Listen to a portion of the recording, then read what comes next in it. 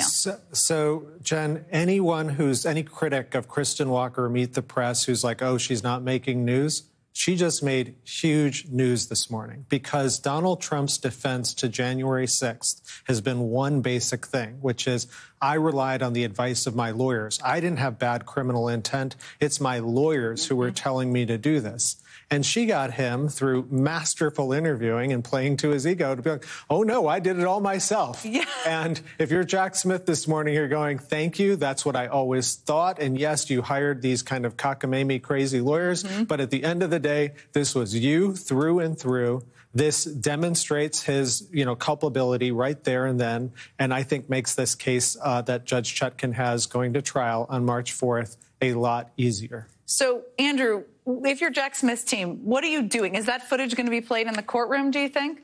It could be. Um, just to add to um, Neil's excellent point, the other thing that uh, Kristen Welker uh, got the president to say was essentially a part of this scheme, a part of the obstruction, a part of the 241 civil rights scheme, which is the stop of the electoral count. If you'll remember, everyone thought there'd be a red mirage, that, that, that the night of the election, Trump would be ahead because the mail in votes had not been counted. And sure enough, Trump had said, stop counting.